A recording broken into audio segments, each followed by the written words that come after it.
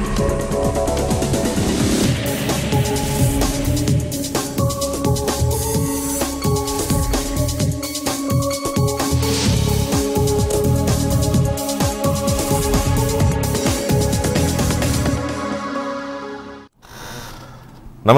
welcome to AP twenty four seven morning debate. ఇవాళ డిబేట్లో Hyderabad studio నుంచి లక్ష్మీనారాయణ గారు రాజకీయ సామాజిక విశ్లేషకులు అలాగే నోముల నరసింహయ్య గారు టీఆర్ఎస్ పార్టీ సీనియర్ నాయకులు మాజీ శాసనసభ్యులు కూడా హైదరాబాద్ స్టూడియో నుంచి మనకు అందుబాటులో ఉన్నారు. అలాగే బొలిశెట్టి సత్యనారాయణ గారు కాంగ్రెస్ పార్టీ నాయకులు విశాఖపట్నం స్టూడియో నుంచి అండ్ వరప్రసాద్ గారు వైఎస్ఆర్ కాంగ్రెస్ పార్టీ లోక్సభ సభ్యులు ఢిల్లీ నుంచి ప్రత్యక్ష ప్రసారంలో అందుబాటులో ఉన్నారు. ఇక అమరావతి స్టూడియోలో రమేష్ నాయుడు బీజేపీ యువమోర్చా నాయకులు అండ్ జనసేన ప్రతినిధి పవన్ క కళ్యాణ్ దిలీప్ సుంకర. కళ్యాణ్ దిలీప్ సుంకర అండ్ జూపడి ప్రభాకర్ గారు తెలుగుదేశం పార్టీ నాయకులు Andhra Pradesh state SC corporation chairman Jupadi Prabhakar గారు స్టూడియోలో ఉన్నారు. ముందుగా లక్ష్మణ్ గారు గుడ్ మార్నింగ్ అండి. ఈ ఈ మూడో ఫ్రంట్ అనే ఈ కొత్త పల్లవి అనే దాన్ని మీరైతే విశ్లేషించమంటే ఏ కోణంలో విశ్లేషిస్తారు? ఎందుకు వస్తుంది ఇప్పుడు ఇది? సడన్గా ఆల్ సడన్. తెలుగు రాష్ట్రాల నుంచి ప్రత్యేకించి తెలంగాణ నుంచి. భారతీయ జనతా పార్టీ రెండు వేల పద్నాలుగు ఎన్నికల్లో అతిపెద్ద పార్టీగా ఆవిర్భవించి సొంతంగా ప్రభుత్వాన్ని ఏర్పాటు చేయడానికి మోడీ గారికి అవకాశం ప్రజలు ఇచ్చారు కాంగ్రెస్ వైఫల్యాలు కాంగ్రెస్ అవినీతి కూపంలో కూరుకుపోయింది. భారతదేశ ప్రజల యొక్క ఆకాంక్షలు నెరవేరాలంటే మోడీ నాయకత్వాన ప్రభుత్వం రావాలని ఆనాడు కోరుకున్నారు. ఆయన ఇచ్చినటువంటి వాగ్దానాలన్నింటిని కూడా విశ్వసించి ఓటేశారు. నాలుగు సంవత్సరాల అనుభవాన్ని ఒకసారి చూసుకుంటే తీవ్రమైనటువంటి నిరాశకు దేశ ప్రజానీకం గురయ్యారు. నల్లధనాన్ని విదేశ బ్యాంకుల నుంచి వెనక్కి తీసుకొస్తానని ప్రజల ఖాతాల్లో వేస్తానని మేక్ ఇన్ ఇండియా పేరుతో ఉద్యోగాలు ఇస్తామని అవినీతిని తుదముట్టిస్తామని అనేక వాగ్దానాలు చేశారు. ఈరోజు ఆ ఆశలన్నీ అడియాశలుగా మారిపోయినాయి. సమాఖ్య వ్యవస్థ అంటే అంటే మీరు మీరు చెప్పేది అంటే మీరు చెప్పేది మోడీకి వ్యతిరేకంగా లేకపోతే మోడీ పరిపాలనకు వ్యతిరేకంగానే ఇప్పుడు ఈ- ఈ తృతీయ ఫ్రంట్ లేకపోతే ఇంకో ఆలోచన ఇంకో ఆలోచన వస్తాయంటున్నా వస్తున్నాయి అనుకుంటున్నారా? నేను నేను ఒక్క మాటే. ఇవాళ భారతీయ జనతా పార్టీ బలహీనపడుతున్నది మోడీ వ్యక్తిగత చారిష్మా పలచబడిపోతున్నది అవినీతి కుంభకోణాలు ప్రత్యేకించి ప్రభుత్వ రంగ బ్యాంకులపైన విశ్వసనీయత పోయే రూపంలో సంక్షోభంలోకి నెట్టబడుతున్నాయి కుంభకోణాలు జరిగిపోతున్నాయి అనేది సర్వత్రా ప్రజలకి మనసుల్లో గాయ వెళ్ళు అనుకుంటున్నది. ఈ పూర్వ రంగంలో కాంగ్రెస్ పార్టీ కోలుకున్నటువంటి పరిస్థితి లేదు. అత్యంత బలహీనంగా ఉన్నది. ఈ పార్టీ బీజేపీని డి అంటే డి అని ఓడించగలిగిన సత్తా లేదు అనేది కూడా ప్రజలకి బలంగా ఉన్నది. ఈ పూర్వ రంగంలో ప్రాంతీయ పార్టీలు ఒక సమాఖ్యగా ఒక దగ్గరకు వచ్చి ఒక వేదికపైకి వచ్చి ఒక దీటైనటువంటి ప్రత్యామ్నాయాన్ని కల్పించకపోతే సమాఖ్య వ్యవస్థను సెక్యులర్ వ్యవస్థని ప్రజాస్వామ్య వ్యవస్థకి అనుగుణమైనటువంటి వ్యవస్థని ఢిల్లీలో తెచ్చుకోవడం కష్టము. ఇవాళ ఉత్తర భారతదేశానికే పరిమితమైనటువంటి భారతీయ జనతా పార్టీ దేశమంతా కూడా పెత్తనం చేస్తున్నది.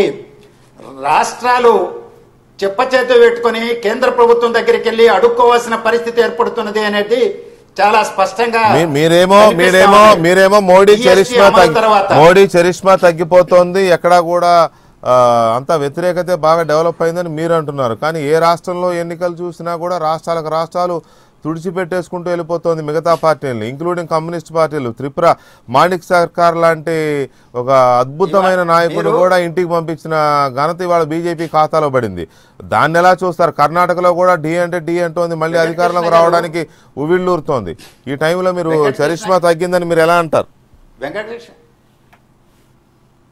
ఇప్పుడు వెంకటకృష్ణ గారు భారతీయ జనతా పార్టీ అధికారంలో ఉన్నటువంటి రాష్ట్రాలు గుజరాత్లో మనం ఎన్నికల ఫలితాలు చూసాం రాజస్థాన్లో మధ్యప్రదేశ్లో ఉప ఎన్నికల ఫలితాలు చూసాం పంజాబ్ ఎన్నికలు చూసాం పెద్ద రాష్ట్రాలలో ఎన్నికలు జరిగినటువంటి చోటంతా కూడా భారతీయ జనతా పార్టీకి ఎదురుగాలి వీచింది. దక్షిణాదిలో పెద్ద రాష్ట్రాలు ఉన్నాయి. ఒక్క కర్ణాటక మినహాయించి ఎక్కడా దానికి స్థానం లేకుండా పోతున్నది. కర్ణాటకలో కూడా గెలుస్తారో లేదో చెప్పలేరు. ఈశాన్య భారతదేశం భారతదేశ రాజకీయాలని ప్రభావితం చేయగలిగినటువంటి స్థానంలో లేరు. భవిష్యత్తులో కూడా చూశాం. ఈశాన్య రాష్ట్రాలన్నీ కూడా కేంద్రంలో ఎవరి అధికారంలో ఉంటే వాళ్ళ మద్దతు వాళ్ళ కనుసన్నల్లో లేకపోతే అభివృద్ధి కొనసాగించలేము. రాజకీయంగా సుస్థిరంగా ఉండలేమనేటువంటి అభద్రతాభావంలో ఉంటారు. మీరన్నట్టు ఒక్క త్రిపురలో మినహాయిస్తే అన్ని రాష్ట్రాలు కూడా ఇవాళ భారతీయ జనతా పార్టీ కొంత గతంలోనూ పుంజుకున్నది ఇవాళ కూడా పుంజుకున్నట్టు మనకు కనిపిస్తుంది. మణిపూర్లో ఏ విధంగా అధికారంలోకి వచ్చారో మనకు తెలుసు. లేకపోతే అరుణాచల్ ప్రదేశ్లో బోర్డు తిప్పేసి ఏ విధంగా అధికారంలోకి వచ్చారో తెలుసు. కాంగ్రెస్ వైఫల్యాల వల్ల భారతీయ జనతా పార్టీ ఈశాన్య భారతదేశంలో బలపడుతున్నది అనేది చాలా స్పష్టం. వామపక్షాలు ఇరవై ఐదు సంవత్సరాల పాటు అధికారంలో ఉన్నాయి. నేత మీద భారతీయ జనతా పార్టీ నాయకులు కూడా వేలెత్తి చూపెట్టగలిగిన పరిస్థితి లేదు. మార్పును కోరుకోవచ్చు. ఇవాళ అధికారంలోకి రావచ్చు. ఆ రాష్ట్రాన్ని విభజన కోరుతున్నటువంటి ఒక పార్టీతో చేతులు కలిపి ఆ పార్టీ అధికారంలోకి వచ్చిందనేది కూడా చాలా స్పష్టం. మనం ఇవన్నిటిని కూడా గమనంలోకి తీసుకోవాలా? ఇక్కడికి వచ్చేటప్పటికి ఇవాళ కేసీఆర్ గారు ఒక ఒక వైఖరి తీసుకొని స్పష్టంగా ముందుకొచ్చారు ఎందుకు వచ్చారు అనేటువంటిది కూడా మనం గమనించాలి ఇక్కడ రాష్ట్ర ప్రభుత్వం వైఫల్యాల మీద ప్రజలు గళమెత్తుతున్నారు ప్రజలు సంఘటితమవుతున్నారు ప్రత్యామ్నాయ రాజకీయాల కోసం ఆలోచన చేస్తున్నారు ఇవాళ రాబోయేటువంటి ఎన్నికలు కూడా కేంద్రానికి రాష్ట్రానికి. కలిసే వస్తాయి Right. ఒక్క- కాబట్టి ఒక్క నిమిషం, ఒక్క నిమిషం. లోక్సభకి, రా- లక్ష్మణ్ గారు, ఒక్క నిమిషం. శాసనసభకి లక్ష్మణ్ గారు. ఆ- ఆ నెపాన్ని ఢిల్లీ వైపు నెప్పి తాను కూడా రక్షించబడాలని ఆలోచిస్తూ ఉండవచ్చు రైట్ రమే రమేష్ రెడ్డి గారు బీజేపీ ప్రభ తగ్గిపోతోంది లేకపోతే బీజేపీ మీద వ్యతిరేకత వస్తుంది. ఉత్తర భారతదేశంలోనే బీజేపీ బలంగా ఉందా దక్షిణాది రాష్ట్రాల్లో చాలా బలహీనంగా ఉంది దక్షిణాది రాష్ట్రాలని చిన్నచూపు చూస్తోంది. కాబట్టి ఈ ప్రత్యామ్నాయం అది థర్డ్ ఫ్రంట్ అంటామా లేకపోతే యూఎఫ్ ఎన్డీ అది గతంలో నేషనల్ ఫ్రంట్ యునైటెడ్ ఫ్రంట్ లాంటి పేర్లతో ఏమైనా కొత్తది వస్తుందో తెలియదు కానీ ఈ కొత్త పల్లవి ఒకటి మొదలైంది. దానికి వెనక ముందు చూసుకోకుండా అందరూ సై అంటే సై అంటున్నారు. పవన్ కళ్యాణ్ సై అంటున్నారు జేపీ గారు సై అంటున్నారు లక్ష్మణ్ గారు సై అంటున్నారు లెఫ్ట్ సై అంటోంది చివరికి ఎంఐఎం కూడా సై అంటోంది. కాసేపు అయితే జూపుడు ప్రభాకర్ గారు కూడా సై అంటారు అందు నాకు తెలుసు. సో ఎందుకు ఇది ఇది ఎందుకు పుట్టింది ఈ ఇది తెలంగాణలో ఎందుకు పుట్టింది? కేసీఆర్ నోటి వెంట ఎందుకు వచ్చింది? దీని మీద బీజేపీ అసలు ఏం అబ్జర్వ్ చేస్తుంది? స్వాతంత్రం వచ్చినటువంటి తొలినాళ్ళలో ఈ దేశంలో కాంగ్రెస్కు వ్యతిరేకంగా అన్ని పార్టీలు పోటీపడేటువంటి అన్ని ఏకపక్షంగా వ్యవహరిస్తున్నటువంటి కాంగ్రెస్కు వ్యతిరేకంగా నడిపించేటువంటి రాజకీయ ప్రత్యర్థులుగా తయారై ముందుకు పోయేటువంటి పరిస్థితులు మనం చూసాం గతంలో. కానీ ఈరోజు భారతీయ జనతా పార్టీ ఉత్తరం లేదు దక్షిణం లేదు నార్త్ లేదు సౌత్ లేదు. ఆ నూక్ అండ్ కార్నర్లో భారతీయ జనతా పార్టీ కుల మత వర్గ వర్ణాలకు అతీతంగా పెరిగిపోతున్నటువంటి క్రమంలో దీని ప్రభావం తట్టుకోలేనటువంటి క్రమంలో అన్ని రాజకీయ పక్షాలు ఏకం కావడం ఏదైతే ఉందో అది కామన్. మేము ధైర్యంగా ఇప్పుడు సిద్ధాంత భావజాలాన్ని కూడా కాంగ్రెస్కి వ్యతిరేకంగా పుట్టినటువంటి కమ్యూనిస్ట్ పార్టీ కూడా దాని సిద్ధాంత భావజాలను కూడా పక్కన పెట్టి కాంగ్రెస్తో కలిసిపోవడానికి సిద్ధంగా ఉన్నామనేటువంటి సంకేతాలు మనం చూస్తున్నాం. గతంలో కూడా జరిగింది. అలాగే తెలుగుదేశం పార్టీ గతంలో కేంద్ర ప్రభుత్వంలో ప్ర- ప్రత్యక్షంగానో పరోక్షంగానో కాంగ్రెస్ పార్టీతో కలిసి కేంద్రంలో రాజకీయాలు నడిపిన నేపథ్యం పరోక్షంగా ఒక్కసారి. ఎస్ సార్ ఒకసారైనా వంద సార్లైనా ఒకసారి మేమేమంటున్నామంటే ఇప్పుడు వేసేటువంటి స్ట్రాటజీ కూడా ఇది చంద్రబాబు నాయుడు గారు వ్య- వ్యూహాత్మకంగా వేస్తున్నటువంటి అడుగులు. ఇది ఈరోజు ఇద్దరు చంద్రులు ఒకటే అన్నటువంటి ఆలోచన తీరుతోటి ప్రజానికం అంతా కూడా ఉంది. చంద్రబాబు నాయుడు గారు ఏ విధమైనటువంటి మనసులో మాట ఉంటుందో అది చంద్రశేఖరరావు గారు వ్యక్తపరుస్తారు. చంద్రశేఖరరావు గారి యొక్క అభిప్రాయాన్ని జనసేన అధినేత వ్యక్తపరుస్తారు. ఇది ఒక పార్ట్ అండ్ పార్షల్ ఇష్యూ. అయితే దీనికంతటి కారణం ఏంటంటే వీళ్ళిద్దరూ ఒకటే మాట్లాడడానికి సౌత్ ఇండియాలో భారతీయ జనతా పార్టీ పెరుగుదలను ఓర్చుకోలేనటువంటి వ్యక్తులు శక్తులు ఒక రకమైనటువంటి హెడెన్ ఎజెండాతో ముందుకు పోతున్నారు. దానిలో భాగంగా మన ఆంధ్రప్రదేశ్కు సంబంధించిన తెలుగు జాతికి సంబంధించినటువంటి అత్యధికంగా ప్రభావితం చేసేటువంటి ఒరిస్సా కావచ్చు లేదంటే కర్ణాటకకు సంబంధించిన ఎన్నికలు కూడా రాబోతున్నాయి. దానికి సంబంధించినటువంటి దక్షిణాదికి ముఖద్వారంగా ఉన్నటువంటి కర్ణాటక ఎన్నికల్లో గన వీళ్ళని దెబ్బకొట్టినట్లయితే మన యొక్క పబ్బం గడుపుకోవచ్చు. మన ఇద్దరి యొక్క విశ్వసనీయత రాబోయే రోజుల్లో తగ్గిపోయేటువంటి పరిస్థితి ఉంది. ఇంటర్నల్ సర్వేలో ఆల్రెడీ తెలుగు వారు బీజేపీ వ్యతిరేకంగా నో నో నో నో వీళ్ళు క్రియేట్ చేస్తున్నారు. అందుకే జనసేన అధినేత అవసరమైతే పవన్ కళ్యాణ్ గారు అన్నారు. ఏమన్నారు? నేను కర్ణాటకలో కూడా పర్యటన చేస్తాను. ఒక పెద్ద మనిషి అన్నాడు. అన్నాడు. అదే క్రమంలో అంటే చెప్తా. ఇక్కడ ఉన్నటువంటి రాష్ట్ర మంత్రి క్రియాశీలకంగా వ్యవహరించేటువంటి ఒక మంత్రి అక్కడ ఉన్నటువంటి వ్యవహారం గారు నాకు ఒక విషయం ఇవ్వాలి. ఇక్కడ క్రియాశీలకంగా వ్యవహరించేటువంటి ఒక మంత్రి కర్ణాటక ప్రాంతానికి పోయినటువంటి సందర్భంలో తెలుగు వాళ్ళ దగ్గర అవసరమైతే కాంగ్రెస్ నైనా సపోర్ట్ చేయండి అనేటువంటి ఉద్దేశాన్ని ఆయన వ్యక్తపరిచినటువంటి విషయాలు కూడా. చెప్తావేంటి గుజరాత్ ఎన్నికల్లో కూడా చెప్పారని ఆల్రెడీ తెలుగుదేశం నాయకులు చెప్పొచ్చారనే విషయం తెలిసింది కదండి గుజరాత్ ఎన్నికల్లో ఆ. అభిప్రాయాన్ని మేము వ్యక్తపరుస్తున్నాం. వీళ్ళు ఆల్రెడీ ఎప్పుడో డిసైడ్ అయిపోయారు. డిసైడ్ అయిపోయారు కాబట్టి భారతీయ జనతా పార్టీని ఏ విధంగా ఏకాకిం చేయాలన్నటువంటి ఆలోచన తీరుతో పోతున్నారు తప్ప అదే మేము చెప్పేది కూడా. ఒకవేళ పవన్ కళ్యాణ్ గారికి నిజంగా విశ్వసనీయత ఉన్నటువంటి వ్యక్తిగా లేదంటే ఆంధ్రప్రదేశ్ ప్రజల యొక్క సమస్యలుగా ఈయన గుర్తించినటువంటి వ్యక్తిగా పార్ట్ టైం పొలిటీషియన్గా కాకుండా ఫుల్ టైం పొలిటీషియన్గా అయింటే మా మోడీ గారు స్వయంగా చిన్న తమ్ముడని సంబోధించినటువంటి కార్డియల్ రిలేషన్ ఉపయోగించుకొని హస్తినాపురం వెళ్ళి అర్ధ గంట పాటు గురువులకే దిక్కులేదు చిన్న తమ్ముడికి ఎక్కడ దిక్కుంటుంది ఎవరికి దిక్కులేదు ఎక్కర్లేదు. నరేంద్ర మోడీ గారి విషయంలో ఆంధ్రప్రదేశ్ సంబంధించినటువంటి విషయంలో తప్పు పెట్టేటువంటి అంశాలు ఎక్కడ లేవు. కానీ లక్ష్మీనారాయణ గారు ఒక మాట చెప్పారు. ఏదంటే రాజకీయంగా మోడీ గారికి ప్రభ తగ్గిపోతుందని. మా నాయకుడు నాయకత్వం వహించినాక ప్రధానమంత్రి అయిన తర్వాత వరుస విజయాలు ఇరవై ఒకటి ఇరవై మూడు రాష్ట్రాలు రేపు కర్ణాటకతో కల- కలుపుకుంటే ఇరవై మూడు రాష్ట్రాలు మేము ప్రభుత్వం ఏర్పాటు చెబుతున్నాం. అదే రాహుల్ గాంధీ గారు ఉప ఆయన వైస్ ప్రెసిడెంట్ మనుషుల్ని గెలవడం గెలవకపోతే ఓటు. రాదండి. లేదు. ఇప్పుడు మన తేడా ఉంటుంది. మనసు గెలవకపోతే మనసులు గెలిచే ఓటు మీరు అవునులేండి మేము గెలిస్తేనేమో అలా అంటారు. ఏరే వాళ్ళు మాకు నాలుగు సీట్లు కూడా తగ్గల. రెండు- రెండు వేల గుజరాత్లో నాలుగు సీట్లు తగ్గితేనే మాకు రెండు మసలు వేల పారింది. పద్నాలుగు- రెండు వేల ఇరవై ఒక్క రాష్ట్రాల్లో ఓడిపోతేనేమో వాళ్ళకేమో రెండు వేల. పద్నాలుగులో మీరు గెలిచిన ఓటు మనసులు గెలిచిన ఓటు. ఇప్పుడు ఈశాన్య భారతంలోనూ అక్కడక్కడ వస్తున్న రాజ్య రాజస్థాన్లో మీకు రాలేదే. అక్కడ మనసులు గెలవలేదు కాబట్టి మన. ఒక బై రెండు ఎంపీ. సత్యనారాయణ గారు సత్యనారాయణ ఈ ఫ్రంట్ అది నేనే చెప్పాను అది నేనే చెప్పాను కదా. అందుకనే సత్యనారాయణ గారు కాంగ్రెస్ ఏతర బీజేపీ ఏతర పక్షాలను కూర కూడగట్టుకొని ఒక తృతీయ ఫ్రంట్ ఏదో ఏర్పాటు చేయాలి దానికి నడుం బిగిస్తాం. నేనే నా అవసరమైతే నేనే దాన్ని నాయకత్వం వహిస్తా అని కూడా కేసీఆర్ పదే పదే ఇదేదో ఫ్లూక్గా ఒక మాటతో వచ్చింది కాదు మొన్న అన్నారు నిన్న అన్నారు. సో ఈ ఆలోచన ఎందుకు వస్తుంది? అది తెలంగాణ నుంచి అక్కడ అప్పుడప్పుడు ఏపీ నుంచి కూడా వినబడుతోంది. తెలంగాణ నుంచి చాలా సుస్పష్టంగా చాలా దూకుడుగా వచ్చింది. సో ఈ ఆలోచన మీద కాంగ్రెస్ అవగాహన ఏంటి? Share to every state should be given ఎందుకంటే కాంగ్రెస్ పార్టీ కానీ బీజేపీ కానీ వాళ్ళు నెగ్లెక్ట్ చేయడం వల్ల స్టేట్స్ని నెగ్లెక్ట్ చేయడం వల్ల ప్రామిస్ చేసింది డెలివరీ చేయకపోవడం వల్ల అభద్రతతోటి రాకపోతే నిస్పృహతోటి ఇలాంటివి స్టార్ట్ అవుతాయి. ప్రాంతీయ పార్టీలు పుట్టుకే జాతీయ పార్టీలు ఫెయిల్యూర్. నేను చెప్పేది I don't say Congress success అని చెప్పను. ఎందుకంటే కాంగ్రెస్ ఫెయిల్యూర్ లేకపోతే అసలు ప్రాంతీయ పార్టీలు పుట్టే పుట్టు.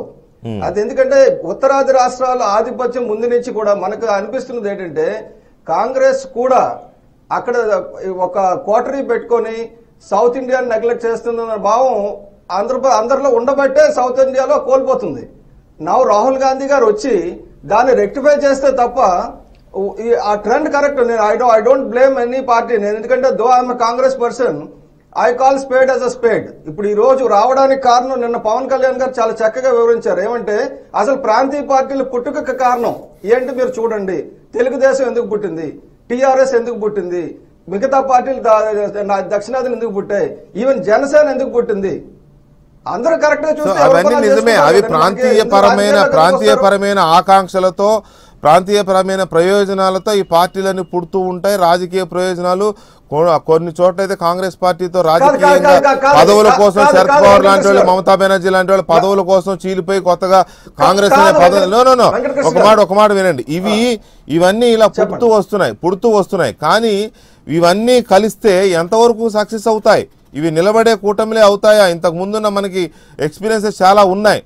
దాన్ని దృష్టిలో పెట్టుకున్నప్పుడు కాంగ్రెస్కు వ్యతిరేకంగా బీజేపీకి వ్యతిరేకంగా వస్తున్నాయా ఇవి? లేకపోతే సొంత ఎగ్జిస్టెన్స్ కోసం వస్తున్నాయా? అనేది ఇక్కడ చాలా కీలకం. కరెక్ట్ అది కరెక్ట్ అంటే మీరు చెప్పిన దాంట్లో వాస్తవం ఉంది. ఇప్పుడు ఇవి నిలబడతాయా నిలబడవా అనేది తర్వాత. కానీ ప్రతిఘటన అనేది ఉండాలి. ఎందుకంటే మీ ఇష్టం వచ్చినట్టు మీరు చేసుకుంటాం. అధికారంలోకి రాకముందు పదేళ్ళు ఇస్తాం పదిహేను ఇస్తాం. అధికారానికి వచ్చిన తర్వాత అసలు ఇవ్వం. అలాగే తెలంగాణకి ఇన్ని చేస్తాం. చేయలేదు. రైట్ అది చేయలేదు కాబట్టి కోపం వస్తుంది. రైట్ ఎందుకంటే ఎవరికైనా ఎవరో ఒకరు తిరగబడతారు. నేను చెప్పేది అది అక్కడ కాంగ్రెస్ ఉన్నా తిరగబడతారు. రైట్ ప్రతి ఒక్కరి ఫ్యామిలీలో కూడా డ్యూ షేర్ గురించి ఫైట్ చేసే పరిస్థితి ఉంటది. రైట్ వరప్రసాద్ గారు. వరప్రసాద్ గారు ఈ ఇప్పుడు ఏదైతే. మళ్ళీ మళ్ళీ ఆ, It- it's a warning for Congress also. తృతీయ ఫ్రంట్ వాదం అనేది వస్తుందో వరప్రసాద్ గారు? ఈ తృతీయ ఫ్రంట్ వాదం అనేది పొలిటికల్ పొలిటికల్ బార్గెనింగ్ పవర్ని డిమాండింగ్ పవర్ని పెంచుకోవడానికి వస్తుందా? లేకపోతే వివిధ రాష్ట్రాలు ప్రత్యేకించి దక్షిణాది రాష్ట్రాల ఇంట్రెస్ట్ని కాపాడుకోవడానికి లేదా ఇంకా దాన్ని పరిపుష్టం చేసుకోవడానికి వస్తున్న ఆలోచనగా చూస్తారా? లేకపోతే రాజకీయ పరమైన పునరేకీకరణ కోసం వస్తున్న ఆలోచనగా చూస్తారా? దీంట్లో మీ పాత్ర ఎలా ఉండబోతుంది? కలిసి ఉంటాయండి. నో నో వరప్రసాద్ గారు. ఐఎమ్ ఆస్కింగ్ వరప్రసాద్ గారు. వందనాలండి. నాకు ఈ అవకాశం ఇచ్చినందుకు. ఈ రోజు పార్లమెంట్ సమావేశాలు ఉన్నాయి కనుక నేను చాలా ఈ రోజు ముఖ్యంగా వైఎస్ఆర్ పార్టీ పెద్ద ఎత్తున ప్రత్యేక హోదా కొరకు ధర్నా చేస్తుంది కనుక మేమందరం చాలా బిజీగా ఉన్నాం. కానీ నాకు ఇంత చక్కని అవకాశం ఇచ్చినందుకు మీకు వందనాలు తెలియజేస్తున్నా ముందు ప్రత్యేక హోదా గురించి రెండు మాటలు నాకు మీరు అవకాశం ఇస్తే రెండు మాటలు చెప్పిన తర్వాత తృతీయ థర్డ్ ఫ్రంట్ గురించి నేను మాట్లాడతాను. ఎందుకంటే ఆంధ్రప్రదేశ్ అభివృద్ధికి తప్పనిసరిగా ప్రత్యేక హోదా రావాల్సిందే. బీజేపీ ఆ రోజు మాకు ప్రత్యేక హోదా ఇస్తామన్నారు కాంగ్రెస్ ఇస్తామన్నారు కనుక మాకు ప్రత్యేక హోదా కావాలని చెప్పి ప్రజలు పెద్ద ఎత్తున అడుగుతున్నారు కనుక ఇప్పుడు అధికారంలో ఉన్న తెలుగుదేశం ముందుకు రావట్లేదు ప్రత్యేక హోదా కొరకు. బీజేపీ కూడా ఏ విధంగా కూడా మాకు చేయవలసిన సహాయం ఆంధ్రప్రదేశ్కి చేయటం లేదు. కాంగ్రెస్ కూడా ఏం మాట్లాడట్లేదు కనుక మా పార్టీ వైఎస్ఆర్ పార్టీ ప్రత్యేక హోదా సాధన కొరకు ఈ రోజు మేము ఢిల్లీలో పెద్ద ఎత్తున ధర్నా చేస్తున్నాము. అందరూ కూడా వస్తున్నారు ఇక్కడికి. కనుక ఎందుకంటే విభజన చట్టంలో ఉన్నది కూడా ఈ ప్రభుత్వం నెరవేర్చట్లేదు రాష్ట్ర ప్రభుత్వం కూడా ఏం ఒత్తిడి పెట్టట్లేదు అలాగే బడ్జెట్లో కూడా మాకు మొండి చేయి చూపించారు కనుక ప్రత్యేక హోదా చాలా అవసరమని అంటూ అనుకో- Right. అంటున్నాను నేను.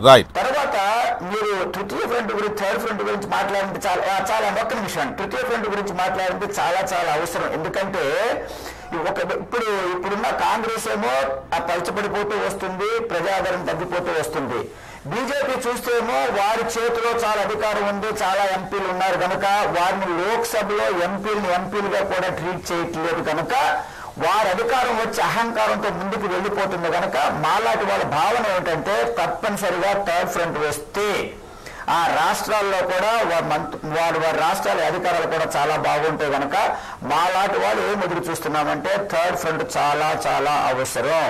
ఎందుకంటే ఎప్పుడు చూసినా ఎంతసేపు చూసినా బీజేపీ కాంగ్రెస్ తిట్టడం కాంగ్రెస్ ప్రాంతీయ పార్టీల అధ్యక్షులకు. ఉండదా అహంకారం. ఒక నరేంద్ర మోడీకి మోడీ దగ్గరే కనిపిస్తోంది అహంకారం మీకు. ప్రాంతీయ పార్టీ ప్రాంతీయ పార్టీల అధ్యక్షులకు ఎవరికి అహంకారం ఉండదా? కాదండి సింగిల్ పార్టీ మెజారిటీ మనకున్న ఈ ప్రజాస్వామ్యంలో చాలా చాలా నష్టం అని చెప్పి బీజేపీ వచ్చిన తర్వాత తెలుస్తుంది. ప్రాంతీయ పార్టీలు ఏమవుతుందంటే ఏ ఒక్కరు కూడా అంత అధికారం ఉండదు కనుక అహంకారం తప్పనిసరిగా ఉండడానికి అవకాశం లేదు.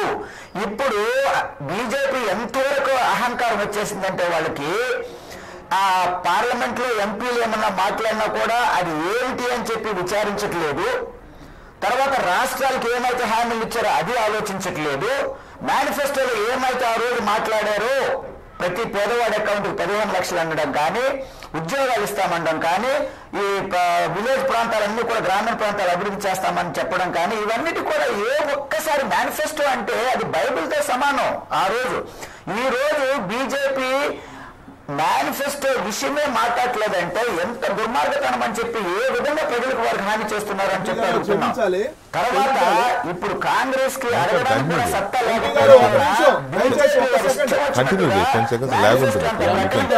రాయలసీమ ప్రాంత వాసి ఆయన రాయలసీమ ప్రాంత ప్రజలందరూ కూడా జగన్మోహన్ రెడ్డి గారిని ఫోన్ చేస్తున్నారు. ఆ ప్రాంతంలో పెద్ద ఎత్తున అడ్వకేట్స్ అందరూ కూడా రోడ్ల మీదకి వస్తున్నారు. ప్రజా సంఘాలన్నీ రోడ్ల మీదకి వస్తున్నాయి. లాఠీ దెబ్బలు కూడా తింటున్నారు. కానీ ఇప్పటి వరకు జగన్మోహన్ రెడ్డి గారు ఏమన్నా స్పందించారా? ఒకటి దాని పక్కన పెడదాం. రెండో విషయం జగన్మోహన్ రెడ్డి గారు అనేటువంటి వ్యక్తి పాదయాత్ర చేస్తున్నటువంటి క్రమంలో బుగ్గిన రాజేంద్ర ప్రసాద్ లాంటి వ్యక్తులను ఎవరో ఒకరిని అసెంబ్లీకి పంపించి ఈ యొక్క ప్రజా సమస్యల మీద కన్నా చర్చించినట్లయితే వాళ్ళకి ఎక్కడ మైలేజ్ వస్తుంది అన్నటువంటి దురాశ దుర్బుద్ధితోటి ఆయన ఈ రోజు అసెంబ్లీని బాయ్కాట్ చేశాడు. ఇంకొక విషయం వాళ్ళ సొంత చెల్లెలను కూడా రాజకీయాల్లోకి కూడా వాళ్ళ ఎదుగుదలను స్వీకరించలేనటువంటి మనస్తత్వంలో ఉన్నటువంటి జగన్మోహన్ రెడ్డి గారి నాయకత్వంలో మేము మా గురించి మాట్లాడతారా? మాకు అహం ఉందని చెప్తారా ప్రజాస్వామ్యాన్ని మా ఎమ్మెల్యేలు మంత్రులుగా చేశారు మోడీ గారు దేవాలయం దేవాలయం మోడీ గారిని పట్టుకొని మీరు అలా అహం భావంతో ఉన్నారని చెప్తారా మీరు కూడా తెలుగుదేశం కాంగ్రెస్ టాప్లో పడిపోతారా చెప్పండి మాకేం అభ్యంతరం లేదు జగన్మోహన్ రెడ్డి గారు కూడా కాంగ్రెస్. విధానాలను. కమ్యూనిస్ట్. విధానాలను. తెలుగుదేశం విధానాలను అభినందిస్తాము రమేష్. ఆయన ఢిల్లీలో ఉన్నారు బాధ్యత మాకు ఇవ్వవలసిందే. అని చెప్పి మేము కోరుతున్నాం. రైట్ నోముల నరసింహ గారు very good morning to AP twenty four seven ఇది ఇది ప్రజాస్వామ్యం ఇది. రైట్ నోమ నోముల నరసింహ గారు ఒక్కసారిగా ఒక్కసారిగా కేసీఆర్ గారు ఈ జాతీయ నాయకత్వము లేదా తృతీయ ఫ్రంట్ అనే అంశాన్ని ఎందుకు ఎంచుకున్నారు? ఆల్ సడన్ ఎప్పుడూ సరే ఆయన జాతీయ పార్టీల్ని విమర్శించడము కొత్త కాదు కేంద్ర ప్రభుత్వాలను నిలదీయడం కొత్త కాదు ప్రాంతీయ ప్రాంతాల రాష్ట్రాల ప్రయోజనాల గురించి మాట్లాడడం కొత్త కాదు రైతులు లేదా ఇతర వర్గాల ప్రజల సమస్యల్ని మాట్లాడడం కొత్త ఏం కాదు ఎందుకంటే సీనియర్ నాయకుడు బాగా అవగాహన ఉన్న వ్యక్తి అందులో సందేహం లేదు. కానీ ఇంత సీరియస్గా తృతీయ ఫ్రంట్ అనే వాదాన్ని భుజాన వేసుకొని ఏకంగా నేనే లీడ్ చేయబోతున్నాను నేనే లీడ్ చేస్తున్నాను అందరూ నాకు ఫోన్లు చేసేస్తున్నారు అప్పుడే అనే స్థాయి దాకా ఎందుకు వెళుతున్నారు? ఏంటి దీని వెనుకున్న ఉద్దేశం ఏంటి? వెంకటకృష్ణ గారు నమస్కారం. దీని వెనకాల ఏ రకమైన ఉద్దేశం లేదు. ప్రజలకు సంబంధించినంత వరకు ఇప్పటి వరకు మనం ఒక్కసారి మీరు గమనించండి. ఈ దేశాన్ని ఏలిన వాళ్ళు నదీ జలాల విషయంలో గాని ఇతర విషయాల్లో గాని ఏమాత్రం పట్టించుకున్నారు అనేది కేసీఆర్ గారు కేటగిరికల్గా ఒక లెక్క చెప్పినాడు. డెబ్బై ఐదు వేల టీఎంసీల నీళ్ళు దేశంలో ఉంటే ఇరవై ఐదు వేల టీఎంసీలు మాత్రమే వాడుకుంటున్నారు. ఐదు నిమిషాలకు రైతు ఇప్పటికే ఆత్మహత్యలకు చేసుకున్నటువంటి పరిస్థితి ఉంది. ఒకవైపు అతివృష్టి రెండో వైపు అనావృష్టి. అందుకోసమని మేము ఏమంటున్నామంటే కేసీఆర్ గారు పద్నాలుగు సంవత్సరాలు వెనకబడ్డ తెలంగాణ కోసం అన్ని రకాలుగా పదవులు ప్రాణాన్ని లెక్క చేయకుండా తెలంగాణ తెచ్చిన తర్వాత పొరుగు రాష్ట్రంతో వెంటబడి అన్ని రకాలుగా నీళ్ళు వాడుకోవడానికి చూస్తున్న విషయం మీరు గమనిస్తున్నారు. ఇప్పుడున్న పరిస్థితులలో మేము కోరేది ఒకటే విభజన చట్టం ఉంది. విభజన చట్టం ప్రకారంగా బీజేపీ కనీసం ఏమన్నా ఆలోచించిందా? ఒక సంవత్సరం పాటు ఐఏఎస్ అధికారులు ఐపీఎస్ అధికారులు విభజించలేదు కదా.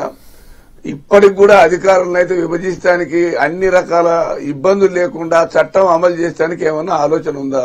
ఇది మనం గమనించాలా? దీనికి తోడు నేను ఛాయ అమ్మలేదు.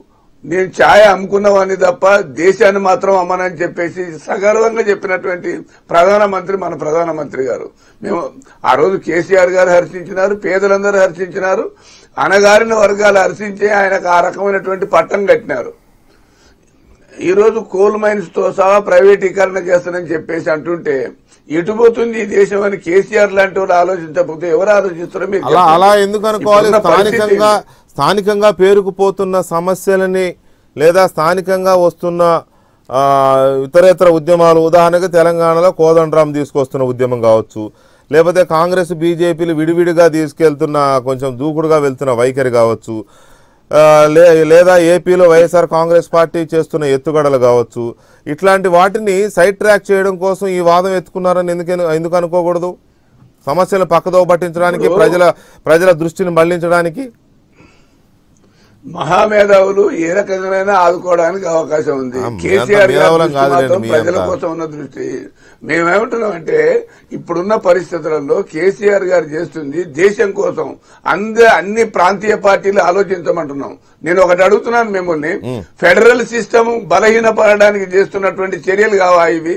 యూనిటరీ సిస్టమ్ బలపడడానికి చేస్తున్న చర్యలు కావా?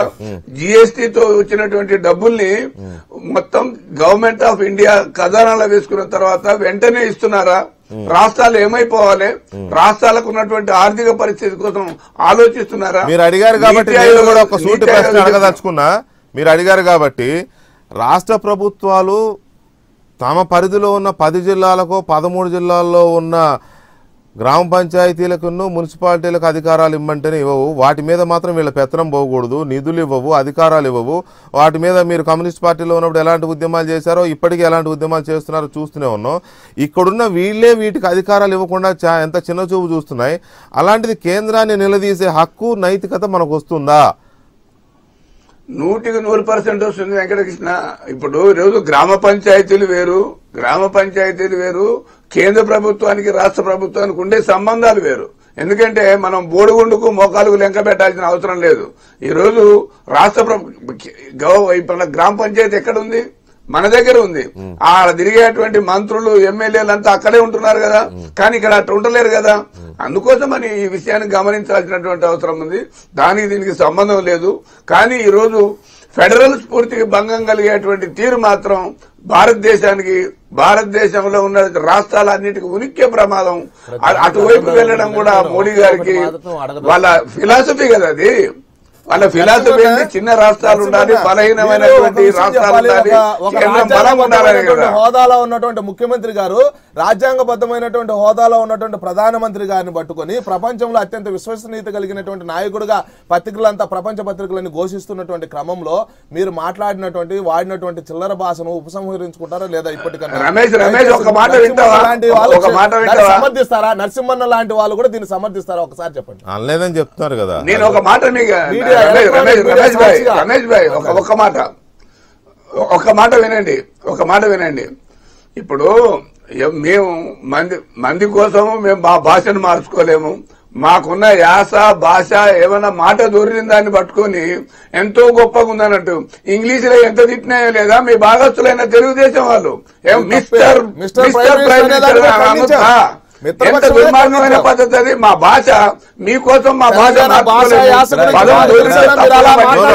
ఒక మాట ఒక మాట. నేను నేను నేను ఒక విషయం చెప్పదలుచుకున్నా. నేను ఒక విషయం చెప్పదలుచుకున్నా. కేసీఆర్ గారు మాట్లాడుతున్నప్పుడు నరేంద్ర మోడీని మోడీ గాడు అన్నారని నేను అనుకోవట్లే. మోడీ గారు అన్నది ఒక్కొక్కసారి నా టంగ్ ఒకసారి మనకి తెలియకుండా ఇదవ్వచ్చు. అది ఏమన్నా రాంగ్గా స్పెల్ అయిందా ఏంటనేది చెప్పలేము. బహుశా వాడెవడా వీడెవడా అన్- అనడం అనేది తెలంగాణలో చాలా సరదా చాలా సహజ సిద్ధమైన భాష. అయితే మోడీ గాడు అని పేరు పెట్టి అన్నారని నేను అనుకోవట్లేదు. ఆయన కూడా నిన్న అదే చెప్పారు. అనలేదనే చెప్పారు. కావాలని దాన్ని దుష్ప్రచారం చేస్తున్నారని గౌరవం అని చెప్పినాడు. Modi yeah, yeah. గారంటే నాకు ఒకటి చాలా రెండోది గౌరవం మీరు కూడా మీరు కూడా. సవరించుకోవాల్సింది ఏంటి అంటే మిస్టర్ ప్రైమ్ మినిస్టర్ అనేది తప్పు కాదు. చాలా గౌరవనీయమైన పదం అది. అమెరికాలో కూడా మిస్టర్ ప్రెసిడెంట్. అంటే పొత్తు మిస్టర్ కలిసి ఉండి కూడా చేసుకోవచ్చా? మిస్టర్ అనేది నరసింహ గారు మిస్టర్ అనేది చాలా పెద్ద పదం అండి ఇంగ్లీష్లో మీకు మీరు తెలిసి మాట్లాడుతున్నారో తెలియక మాట్లాడుతున్నారో బీజేపీ కూడా బీజేపీ కూడా అదే ట్రాప్లో ఉంది. మిస్టర్ అనేది చాలా పెద్ద పదం. అమెరికా అధ్యక్షుడిని కూడా మిస్టర్ ప్రెసిడెంట్ అని పిలుస్తారు. మన దగ్గర శ్రీయుత శ్రీ అని ఎలా అంటామో అక్కడ శ్రీయుత ప్రధానమంత్రి గారు నో నో నో మిస్టర్ అనేది తప్పు కాదు. ఈ- విషయంలో బీజేపీ దాన్ని. ఈ విషయంలో బీజేపీ దాన్ని. నెగిటివ్గా క్రియేట్ చేసే ప్రయత్నం చేస్తాం తప్ప ఆ, ట్రాప్లో పడకండి. విజిట్ చేసినప్పుడు అప్పుడు ఎవరినైనా మిస్టర్ సీఎం ఎవరినైనా మేము కూడా కొన్ని ఇంటర్వ్యూ చేసినప్పుడు మిస్టర్ సీఎం అని పెడుతూ ఉంటాం. అంటే అది ఏమైనా బూతా? No no. ఆ ట్రాప్లో పడకండి ప్రాంతీయ పార్టీలు దయచేసి బీజేపీ దాన్ని ఏదో ఇంకో ఇంకో వేలో యూజ్ చేసుకోవాలనుకుంటుంది. రైట్ ఒక్క నిమిషం సార్ నరసింహ గారు ఒక్క నిమిషం. జూపిడి గారు ఈ ఈ తృతీయ ఫ్రంట్ ఆలోచన ఎక్కడ పుట్టింది? ఏదో రమేష్ నాయుడు నాకు ఒక బా- బాంబు వేశారు. కేసీఆర్ గారేమో తానే లీడ్ చేస్తా అంటున్నారు. ఇది ఎక్కడ పుట్టింది? తర్వాత రీసెర్చ్లోకి నేను పోదలుచుకోలేదు కానీ మీరు అడిగినటువంటి ప్రశ్న ఎందుకు ఈ ఆలోచన కేసీఆర్కి వచ్చిందని అంటే ప్రశ్న బాగుంటుందేమో. సి భారత రాజ్యాంగ స్వరూపాన్ని కాస్త బాగా తెలుసుకున్నటువంటి రాజకీయ నాయకులు కొంతమంది దేశంలో ఉన్నారు. అంటే ఇది ఫెడరల్ సిస్టమ్ ఎలా ఉంటుంది తర్వాత సెంట్రల్ స్టేట్ రిలేషన్స్ ఎలా ఉంటాయి the respect which the CM is going to get from the central government ఇవన్నీ తెలిసినటువంటి రాజకీయ నాయకులు ఈ దేశంలో ఇంకా చాలామంది ఉన్నారు. నాకు తెలిసి వాళ్ళల్లో ఈ. కేసీఆర్ కూడా ఒక ఒక- నాయకుడు. నాయకుడు కూడా ఫెరోషియస్ లీడర్ కూడా. అయితే ఇక నేను ఇంకొక చర్చలోకి వెళ్ళదలుచుకోలేదు. తన రాష్ట్రంలో అనేకమైనటువంటి కులాలు ప్రాంతీయ లేకపోతే మన మనుషులు వాళ్ళతో ఉన్న వాళ్ళు తిరగబడుతున్నారు కదా వాటిని పక్కదో పట్టించడానిక? దీన్ని కొంచెం పక్కన పెట్టేస్తాం. సో మీరన్న ఫండమెంటల్ ప్రశ్నకు వచ్చినప్పుడు ఎందుకు ఈ ఆలోచన ఇక్కడ వచ్చిందంటే సి కొంత సుదీర్ఘకాలం నాలుగు సంవత్సరాలు ఒక రాజధానిలో ఉండి కేంద్ర ప్రభుత్వంలో ప్రధానమంత్రిగా లేకపోతే తన రాజకీయ పార్టీ ప్రభావాన్ని పెంచుకోవటం కోసం చేస్తున్న ఒక రాజకీయ ఆ నేపథ్యాన్ని చూసిన తర్వాత మొన్నటిదాకా అన్నిటికీ సహకరించి ఈరోజు తను స్వరాన్ని మార్చినటువంటి నేపథ్యంలో ఇది భారతదేశంలో ఉన్నటువంటి మిగతా రాజకీయ పార్టీలందరూ కూడా ఎవరైతే అపోజిషన్లో ఉన్నారో బీజేపీకి కానీ కాంగ్రెస్కి కానీ వాళ్ళందరి నుంచి ఫోన్లు వస్తున్నాయి. కాబట్టి వాళ్ళు అనుకోవచ్చు. ఈరోజు కొంతమంది బీజేపీ వాళ్ళు లేకపోతే కాంగ్రెస్ వాళ్ళు అనుకోవచ్చు దీని వెనకాల ఆంధ్రప్రదేశ్ ముఖ్యమంత్రి చంద్రబాబు నాయుడు గారు ఉన్నారు అనే అంశం ఒకవేళ వాళ్ళు ఏమైనా అనుకున్నా ఇది పక్కన పెట్టేస్తాం. సో కేసీఆర్కి ఆలోచన రావటంలో ఆ, వింత ఏమీ లేదు లేకపోతే రాకూడదని కూడా ఏమీ లేదు. భారతదేశంలో అనేకమైన రాజకీయ పార్టీ ఈరోజు నార్త్ ఈస్టర్న్ స్టేట్స్ తీసుకోండి. అక్కడ ఈరోజు మేఘాలయలో ఒక అధికారాన్ని ముఖ్యమంత్రిగా రాబోతున్న వ్యక్తి స్మాల్ ప్రాంతీయ పార్టీ. మేఘాలయ కానీ త్రిపుర కానీ నాగాలాండ్ కానీ మన కృష్ణా జిల్లాలో సగం ఉంటాయి. పెద్ద పెద్ద ఏమి ఒక మనలాగా పదమూడు రాష్ట్రాలు లేదా తెలంగాణలాగా పది రాష్ట్రాలు ఉండేటువంటి పది జిల్లాలు ఉండేటువంటి ఉండేటువంటి ఇది కాదు. చాలా స్మాల్ ఏరియా డిస్ట్రిక్ట్స్ ఉంటే ఉండొచ్చేమో కానీ సో ఇక్కడ ఈ ప్రాంతీయ భేదం ప్రాంతీయ పార్టీలు ఎందుకు పుట్టుకొచ్చాయి? ఇందాక మీరు ఒక ప్రశ్న వేరే వాళ్ళని అడిగినప్పుడు ప్రాంతీయ పార్టీలు పుట్టుకే అందుకు వస్తుందండి ప్రాంతీయ పార్టీ ఉన్న చోట ఇంకో ప్రాంతీయ పార్టీ పుట్టకూడదని కూడా ఏం లేదు. మనకి ఎగ్జాంపుల్స్ బోల్డ్ వచ్చేసాయి. ఒకే చోట నా ఒకే ఒకే రాష్ట్రంలో నేషనల్ పార్టీ ఉంటుంది రకరకాల నేషనల్ పార్టీస్ ఉంటాయి. వాటితో ప్రాంతీయ పార్టీ ఉంటుంది లేటుగా పుట్టినా లేకపోతే కొత్తగా పుట్టినా ఇంకా కొన్ని పుడతానే ఉంటాయి. సో ఇది ఈ దేశం మౌలిక స్వరూపాన్ని ఒకసారి మీరు చూసినట్లయితే ఎక్కడైతే అన్యాయం జరిగిందని భావిస్తారో దానికి తిరుగుబాటుగా ఒక సంఘర్షణ ఖచ్చితంగా మొదలవుతుంది.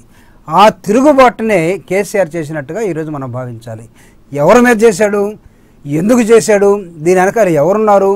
ఇది నిజంగా సక్సెస్ అవుతుందా? విఫలమవుతుందా? సో ఇది ఇది ఒక రకంగా కేంద్ర ప్రభుత్వం మీద కేంద్ర కేంద్రంలో నాయకత్వం వహిస్తున్న జాతీయ పార్టీల మీద తిరుగుబాటు అంటారు ఒక రకంగా. నో డౌట్ అబౌట్ ఇట్ ఎందుకంటే ఈ తిరుగుబాటుకి స్పందన మీరు అంటే వాళ్ళు చెప్పిన దాని ప్రకారం చూసినట్లయితే మమతా బెనర్జీ ఆబ్వియస్లీ ఫోన్ చేస్తుంది. నో డౌట్ సదరన్ స్టేట్స్లో మాకు సౌత్ ఇండియా సపరేట్గా ఉండాలని కోరుకునే తమిళనాడు కమలాసన్ ఫోన్ చేయకపోవడంలో ఆశ్చర్యం ఉండకపోవచ్చు. డిఎంకే చేస్తుందా? లేటుగా చేస్తుందో? చూడాలి. అదేవిధంగా కర్ణాటకలో ఎన్నికలు జరుగుతున్న సమయంలో సిద్ధరామయ్య లాంటి ఒక పర్సనాలిటీ ఉన్నటువంటి లివేకర్ సెక్షన్ నుంచి వచ్చిన నాయకుడు నేషనల్ పార్టీలో ఉన్నా సరే ఉన్నా సరే గొంతు కలుపు గొంతు కలుపు కలకపోవడానికి ఆశ్చర్యం ఉండకపోవచ్చు. అదేవిధంగా అనేకమైన అటు కేరళలో ఓడిపోయినటువంటి ఈరోజు కమ్యూనిస్టు పార్టీలు అని చెప్పుకున్నది అది ఓడిపోతాం నిజంగా చారిత్రకంగా తప్పిదమైందా? లేకపోతే ప్రజలు ఇంకొక దీన్ని కోరుకున్నారా ఆఫ్టర్ సమ్ టైం అనే దాన్ని చూసినప్పుడు? ఇవన్నీ ఒక తిరుగుబాటు ధోరణి ఎక్కడైతే ఉంటుందో ఖచ్చితంగా అట్రాక్షన్ కూడా కొంత ఉంటుంది. మో కృష్ణ వెంకటకృష్ణ గారు.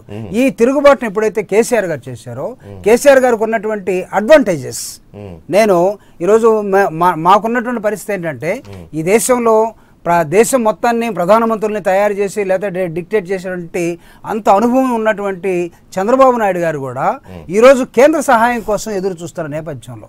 మేము ఫ్రెండ్లీగా ఉండి కూడా ఇంకా ఏదన్నా ఇస్తే బాగుండని చూస్తున్న నేపథ్యంలో కొంతమంది అడగవచ్చు అసలు ఇది ఈ ఈ తిరుగుబాటు ధోరణి ఈ గొంతు ఏపీ ముఖ్యమంత్రి నుంచి రావాల్సింది అన్ఫార్చునేట్లీ లేకపోతే ఇక్కడి నుంచి వచ్చింది అనే కారణం ఏంటంటే కావాలనే కలిసే కూడబలుకునే దీన్ని.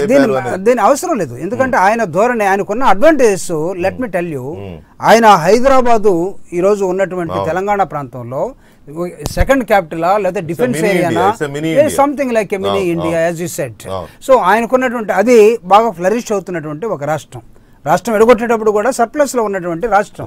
రెండవది he knows Urdu he knows Hindi he knows Telugu he knows English multi talented multi talented so ఆయన వెస్ట్ బెంగాల్కి వెళ్ళి అద్భుతంగా హిందీలో మాట్లాడగలడు లేకపోతే ఓల్డ్ సిటీకి వచ్చి ఉర్దూలో మాట్లాడగలడు లేకపోతే ఢిల్లీలో కూర్చుంటే ఢిల్లీలో తనకున్నటువంటి మా గతంలో అతను మంత్రి కార్మిక మంత్రి లేకపోతే పార్లమెంట్ ఆయనకే కొత్త ఏం కాదు. పార్లమెంట్ తోటి ఫుట్బాల్ ఆడినటువంటి ఒక ఎవ్రీ సిక్స్ మంత్స్కి ఎలక్షన్స్ పెట్టి ఎంపీలని ఓడగొట్టడం గెలిపించడం లేకపోతే అక్కడికి వెళ్ళి కూర్చొని అనేకమైన ప్రయోగాలు చేసిన వ్యక్తి. ఆయన కొన్ని కొన్ని అడ్వాన్సెస్ కొన్ని అడ్వాంటేజెస్ ఒక నిమిషం.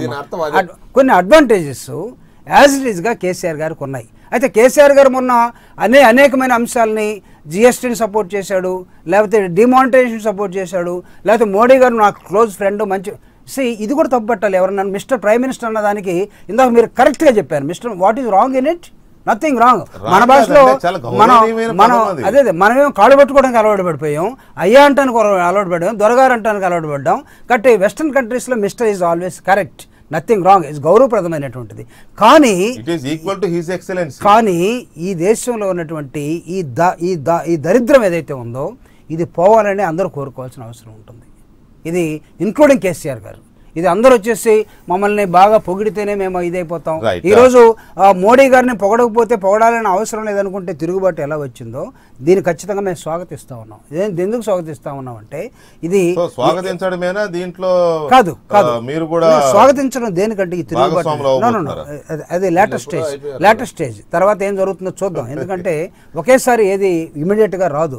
స్వాగతించడం కూడా వాస్తవాలు ఎందుకంటే ఒక. నేషనల్ ఒక- నేషనల్? పార్టీ ఒక నేషనల్ పార్టీగా ఆవిర్భించిన తర్వాత అనేకమైన అంశాల్లో రైట్ రైట్ ఉంటాయి. కాదండి వాళ్ళు బీజేపీ కానీ కాంగ్రెస్ కానీ నేషనల్ పార్టీగా you should not neglect your own partner. Minimum fundamentals. మాజీ ఎంపీ యలమంచిలి శివాజీ గారు టెలిఫోన్ లైన్ ఉన్నారు. శివాజీ గారు గుడ్ మార్నింగ్ అండి. నమస్కారం చెప్పండి.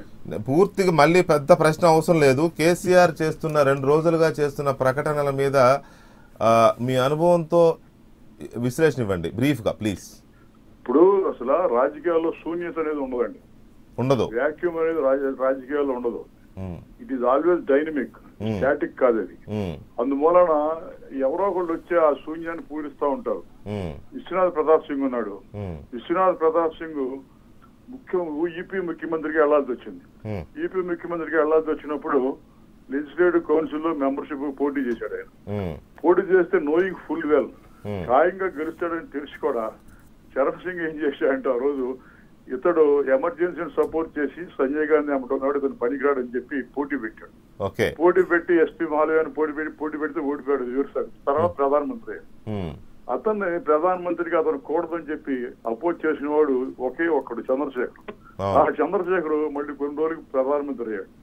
అలాగే దేవగౌడని దేవగౌడని ప్రధానమంత్రి చేసింది ఎవరో తెలుసండి మీకు? దేవగౌడని ప్రధానమంత్రి చేసింది. దేవగౌడ మాతో పాటు మా కమిటీలో ఉండేవాడు standing advisory committee attach minister of commerce. అతని పేరు సజెస్ట్ చేసింది పివి నరసింహరావు. ఆయన సజెస్ట్ చేశాడు. ఏది ఆయన ముఖ్యమంత్రికి అంటే ఆయన సజెస్ట్ చేశాడు. తర్వాత దేవగౌడ రాత కూడా అన్నాడు. ఏదేదో హాయిగా ఉండేవాడిని అక్కడ నాలుగేళ్ళు ఉండేవాడిని ఇంకా ముఖ్యమంత్రిగా ఉద్యోగం నాకెందుకని చెప్పి. తర్వాత black horse like IK Hmm. Devegowda తర్వాత ఐకే గుజరాల్ వచ్చాడు. గుజరాల్ ఎట్లకి వచ్చాడు? సీతారాం కేంద్ర ప్రపోజ్ చేస్తే ఐకే గుజరాల్ వచ్చాడు. దేవగౌడ దించేయడానికి కారణం ఐకే సీతారాం కేసరి. సీతారాం కేసరి స్టాండ్ ఏంటి? పివి నరసింహరావు దిగిపోయినప్పటికీ కూడా నేను అడ్జస్ట్ అయినా కూడా నా మాట వింటలేదని చెప్పి అతను దించేయడానికి కారణం అతను సీతారాం కేసరి.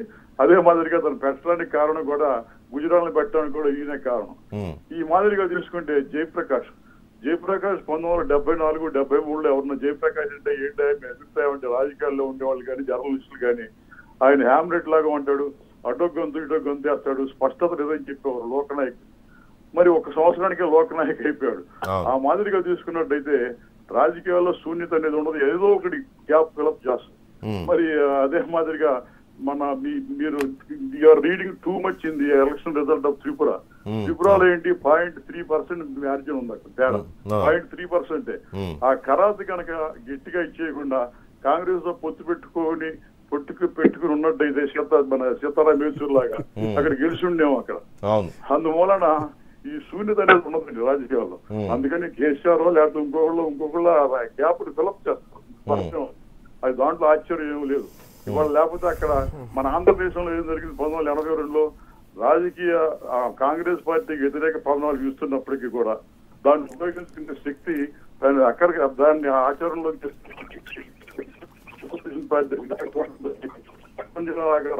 రావటం ఆ గ్యాప్ని ఫిలప్ చేయడం జరిగింది అప్పుడు. అందువల్ల ఆ ఈ సూర్యత అనేది ఉండదు దానికి కేసీఆర్ లేకపోతే ఇంకొకరు ఇంకొకరు ఫిలప్ చేస్తారు. ఇది వాస్తవం. దీన్ని మనం పరిగణలో తీసుకోవాలి. రైట్ శివాజీ గారు థ్యాంక్ యూ వెరీ మచ్ ఇక మీకు జనసేన విషయానికి వస్తే అంత ఇదిగా అంత ఆయన అనగానే ఎందుకు స్వాగతించాడు? ఎవరు ఏమన్నా స్వాగతించడం కాదు మద్దతు అదే స్వాగతం ఇంచుమించు అదేలే రెండు పదాలు ఒకటే మీరు స్వాగతం అన్నారు. అదే ఇంచుమించు అదే మద్దతు కిందకి వెళ్తుంది అది కూడా. ఆయన అనగానే స్వాగతించేస్తారు ఈయన అనగానే స్వాగతించేస్తారు. అంటే దానికి కొంచెం ఒక స్టడీ లేకపోతే ఎందుకు అన్నారు వీళ్ళ ఆలోచనలు ఏంటి ఇప్పుడు ఎలక్షన్ల ముందే ఈ వాదనలు ఎందుకు లేవనెత్తుకుంటున్నారు ఇలాంటివన్నీ వస్తూ ఉండాలి కదా. ఆ స్టడీ లేకుండా స్వాగతించాడు ఇప్పుడు బీజేపీ ఆల్రెడీ రెండు రాళ్ళు వేసేసింది. పవన్ కళ్యాణ్ అనేవాడు సీజనల్ పొలిటీషియన్ కాదు ఫుల్ టైం పొలిటీషియన్ అసలే కాదు ఏదో అలాగా విశ్వసనీయత ఏముంది ఆయనకి? ఇలాంటి కామెంట్స్ ఆల్రెడీ ఇప్పుడు మీ ముందే వచ్చాయి. సో ఈ పరిస్థితుల్లో రాష్ట్రంలో ఒక కీలక ఫ్యాక్టర్గా ఉన్న ఉన్న పవన్ కళ్యాణ్. రెండు రాష్ట్రాల్లో కూడా ఇప్పుడు రెండు రాష్ట్రాల రాజకీయాల్లో ఒక కీలకమైన ఫ్యాక్టర్గా ఉన్నాడు పవన్ కళ్యాణ్. అలాంటిది ఎవరు ఏదన్నా కూడా except YSR Congress party except Bharatiya Janata party except Congress party ఈ మూడు పార్టీలు మినహాయిస్తే మిగతా వాళ్ళు ఎవరు ఏమన్నా సై అనే తరహాలో ఉండడం అనేది కూడా మరి చెప్పాల్సిన అవసరం ఉంటుంది. మీరు అడిగిన ప్రతి ప్రశ్నకి సుస్పష్టంగా జవాబు చెప్తాను సార్. ఫార్టీ ఫైవ్ మినిట్స్ నేను ఒక మాట మాట అంటే ఇంతమంది ఉన్నప్పుడు తప్పదు. ఇప్పుడు power for politics power in politics అని రెండు కేటగిరీస్ ఉంటాయి. ఇక్కడ ఉన్న వాళ్ళందరూ అనుభజ్ఞులే. పవర్ ఫర్ పాలిటిక్స్ అధికారం కోసమే రాజకీయాలు చేయడం రాజకీయాలు ఉన్నాం కాబట్టి అధికారం రావడం అనేటువంటిది వినడానికి ఒకేలాగా ఉన్న రెండుకి నక్కకి నాగలోకానికి ఉన్నంత అయితే ఉంది. పవర్ ఫర్ పాలిటిక్స్ చేసే వాటికి ఆ పార్టీలకి జనసేన దూరంగా ఉంటుంది. అంటే ఇంకా అధికారమే పరమావధికం చేస్తే చాలా తప్పులు చాలా ప్రజా ఆమోదదాయకమైనటువంటి చర్యలకు పాల్పడాల్సి వస్తుంది. రాజకీయాలు చేసుకుంటా వెళ్ళి పవర్ ఫాలో అయింది అనుకోండి ఖచ్చితంగా కొద్దిలో గుడ్లో మెల్ల ప్రజలకు మంచి జరిగే అవకాశం ఉంది కాబట్టి మేము వైసీపీని ఎందుకు విభేదించాం? ఇంకోటి ఎందుకు ఇంకోటి ఎందుకు అని ఇది జవాబు. పవర్ ఫర్ పాలిటిక్స్ చేసేటువంటి పార్టీలకి మేము ఎప్పుడు వ్యతిరేకంగానే ఉంటాం. ఇక రాజకీయాల్లో ఉండేదే అధికారం కోసం కదా అంటే రాజకీయాలు చేసుకుంటూ వెళ్తున్నప్పుడు ఆంధ్ర వేలు అధికారం టచ్ అయితే పర్లేదు కానీ అధికారం కోసం ఎలక్షనీరింగే నాలుగు సంవత్సరాలు కంటిన్యూ చేస్తే ఏ పార్టీకి కూడా రెండోసారి మ్యాండేట్ వచ్చేటువంటి పరిస్థితి ఉండదు. అందుకే ఇవన్నీ కూడా ఎలక్షన్ ఇయర్లోనే వస్తాయి. ఇది పెద్ద వింత కాదు కొత్త కాదు. ఇక ఏ రాజకీయ చరిత్ర మనం తీసుకున్నా తవ్వుకున్నా అంటే మేము ఇంకా కొత్తగా ఇప్పుడు ఇందులోకి వచ్చాం కాబట్టి మేము మీలాంటి పెద్దలందరూ చూసినాయో చేసినాయో ఇలాంటి వాళ్ళు చేసినాయో చదువుకుంటా ఉన్నప్పుడు మాకు ఒక క్రక్స్ వస్తుంది. ఒక ఒక సబ్ టైటిల్ వస్తుంది లాస్ట్లో. నాకు నాకు నా వరకు అర్థమైంది ఏంటంటే ఇప్పటిదాకా సమకాలీన రాజకీయ వ్యవస్థలో politics is all about pride and self respect ఎప్పుడైతే ఆత్మాభిమానం దెబ్బతింటదో ఎప్పుడైతే ప్రజల అహం దెబ్బతింటదో అప్పుడు నూతన ఒరవడికి శ్రీకారం చుట్టబడుతుంది. పంతొమ్మిది వందల తొంభై ఆరు ట్రెండ్స్ని గమనించే చంద్రబాబు నాయుడు గారు గేమ్ చేంజర్ అని రెండు వేల పదహారు నుంచి ఎన్నో డిబేట్లో నేను మొత్తుకుంటూ వచ్చా. You should not rub your hands with wrong hands it will lead to rashes which BJP did with both Telangana and Andhra Pradesh governments ఇక్కడ పార్టీల గురించి నేను మాట్లాడట్లా. It's a wrong rubbing mission భగీరథప్పుడు బీజం పడింది. మిషన్ కాకితీయప్పుడు బీజం పడింది. ఇరవై నాలుగు వేల కోట్లకి సంబంధించి రావాల్సిన సెంటర్ ఫండ్స్ అటు తెలంగాణకు వచ్చినటువంటి దాఖలా కనపడలా. ఇక ఇంకా ఆంధ్రాకి జరిగిన అన్యాయం గురించి పేజీలు పేజీలు పొంకాల పొంకాలు గంటల గంటలు. మనం మాట్లాడుకుంటానే వచ్చాం ఇలాంటి వాయిస్ మార్కెట్లోకి మీకు ఓపిక లేకపోతే నాయుడు గారు మీరు మాట్లాడుతుంటే ఎందుకు కావాలి డిబేట్ చేయాలి అంటున్నా? డిబేట్ చేద్దాం అరుచుకుందాం మరి ఇది కూడా చెప్పు. ఆర్థిక మధ్యలో ఎందుకు దీనికి అది కూడా కూడా చెప్తా. సమాధానం చెప్పు. ఆగండి, ఆగండి, అది కూడా చెప్తా. ఎట్లా? మీకు మీకు స్పష్టంగా అబద్ధాలను చెప్తా సమాధానం. ప్రచారం చేస్తే ఎట్లా? సమాధానం మధ్యలో చెప్తా అని చెప్పిన మీకెందుకు దులికిపోటు రాష్ట్రానికి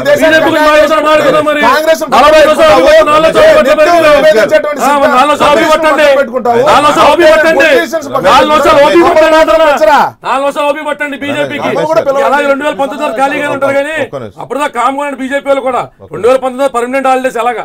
ఆంధ్రాలో. నేనేమంటానంటే ఇవాళ they did wrong rubbing with both the chief minister of Andhra Pradesh and honourable chief minister of Telangana ఇది వాళ్ళ మొత్తుకున్నా లొల్లి చేసినా గలాట చేసినా నిజం నిజం కాకుండా పోదు. ఇవాళ దీని మీద మనం స్టాటిస్టిక్స్ మాడుకోక్కల్లా. నెంబర్స్ మాడుకోక్కల్లా. యూనివర్సిటీ గోడలు కట్టుకోవడానికి ఎల్లలేసుకోవడానికి సరిపడినటువంటి ఫండ్స్ ఇచ్చి మేం కాబట్టి యూనివర్సిటీ శాంక్షన్ చేసామని అద్దె కొంపలో నడిపేటువంటి పరిస్థితి. ఇవాళ ఒకటే చెప్తున్నాను సార్. థర్డ్ ఫ్రెండ్ ఫామ్ అయిందా? ముసుగులో గుద్దులాటొద్దు ఫామ్ అవడానికి బీజాలు ఎవరేశారు? ఫామ్ అవడానికి కారకులు ఎవరయ్యారు? ఆంధ్ర ప్రజలకు ఆత్మగౌరవాన్ని తూట్లు పరిచినటువంటి వ్యక్తులు ఎవరు? ఫామ్ అవదా అండి? నలుగురు బలహీనులు ఒక బలవంతుణ్ణి ఎదిరించడం కోసం చేతులు కలుపుకోరండి. చలి చేయమల చేత చిక్కి మరణించిన. కొండ చిలవ కొండ చిలవ వాళ్ళ నరేంద్ర మోడీ. కొండ సార్లు చిలవ వాళ్ళ. నరేంద్ర మోడీ. ఇవాళ కొండ చిలవ. ఏంటి సార్? త్రిపురలో గెలిచారా? ఎట్లా అండి? ఇండిజియస్ ఫ్రంట్తో కలుపుకుని అక్కడ ట్రైబల్ స్టేట్ ఇస్తామని ఎలక్షన్ ముందు. తర్వాత లేదు ఏ త్రిపుర అనేటువంటి నినాదాలతో. వీళ్ళ ఎలక్షనీరింగ్ గురించి చిన్న రాష్ట్రాల్లో sir marketing in politics market in politics ఉంటుంది. రెండు వేల పద్నాలుగు మార్కెట్ ఉంది రాజకీయంగా. పెంచి పోషించారు. మీడియా ఛాన్స్ కూడా ఫ్యాబ్రికేటెడ్ లీడర్షిప్ ఇచ్చినాయి. ఇవాళ ఏం చేస్తున్నారు? మార్కెటింగ్ ఏం చేస్తాం? ఒక పెద్ద చెక్ కోసం కస్టమర్ దగ్గరికి వెళ్ళినప్పుడు నాలుగైదు చిన్న చెక్కులు తీసి పెడతాం. ఎంతమంది పది మంది కస్టమర్లు ఇచ్చారండి? Two thousand ten thousand six thousand అంటాం. ఆ దగ్గర వచ్చి లక్ష రూపాయలు వస్తాయని చెప్పి. ఇలా చిన్న చిన్న రాష్ట్రాల్లో ఎలక్షనీరింగ్ చేసి దాని గెలుపు కింద దాని గెలుపు కింద చూపించి సార్ నరేంద్ర మోడీ గారు ఏమి ఎక్కడ చంద్రబాబు నాయుడు గారి కంటే భయంకరమైన మనిషి కాదు. పంతొమ్మిది వందల తొంభై ఆరులోనే పిఎం కుర్చీకి దగ్గరే నాకు వద్దనుకుని వచ్చేటువంటి ముఖ్యమంత్రి వాళ్ళు రాష్ట్రానికి ఉన్నారు పార్టీలకు అతీతంగా మాట్లాడుకుందాం. ఇవాళ రాష్ట్ర ఆత్మగౌరవం ఐదున్నర కోట్ల మంది తెలుగు ఏమి తెలుగు కాదా? అది తెలుగు స్పీకింగ్ పీపుల్ అట్లా రాష్ట్రానికి అన్యాయం జరిగిందని నిర్దేశిష్టంగా బయట పడిపోయిన తర్వాత ఇంకా మేము ఇస్తామనేటువంటి కాకమ్మ కబులు కుదరవు. People are looking out for a strong strong counter to centre ఇది జనాల ఆకాంక్ష. ఈ ఫ్రంట్ అనేటువంటిది టీఆర్ఎస్లో పట్ల టీడీపీలో పట్ల జనసేనలో పట్ల జనం నుంచి పుట్టింది. కేంద్రానికి సెగలు తగాలనేటువంటి ఆలోచన నుంచి పుట్టింది కాబట్టి ఎవరు దాన్ని ముందరకు వచ్చి టేకప్ చేస్తే వాళ్ళని ప్రజలు మళ్ళీ మేనేజ్ కూర్చోబెడతారు. రైట్ లక్ష్మణ్ గారు ఇప్పుడు ఎవరైతే ఈ థర్డ్ ఫ్రంట్ ఆలోచనలు అని చెప్తున్నారో టిఆర్ఎస్ కావచ్చు టీడీపీ కావచ్చు లేకపోతే మమతా ఫోన్లు చేసిన మమతా బెనర్జీ కావచ్చు లేకపోతే శిబు సోరెన్ కొడుకు ఇంకో జూనియర్ సోరెన్ ఆయన కావచ్చు ఇలాంటి వాళ్ళు ఎవరైతే ఫోన్లు చేశారని కేసీఆర్ గారు చెప్తున్నారో వీళ్ళంతా ఇప్పుడు బీజేపీకి కాంగ్రెస్కి దూరంగా ఉన్న వాళ్ళు ఏం కాదు. ఏదో ఒక సందర్భంలో ఆ పార్టీతోనో ఈ పార్టీతోనో పొత్తుల్లోనో ఉండి కేంద్రంలో పదవులు వెలగబట్టిన వాళ్ళే ఎన్నికలు ఫేస్ చేసిన వాళ్ళే జ- సంకీర్ణ ప్రభుత్వాల్లో కలిసిన వాళ్ళే.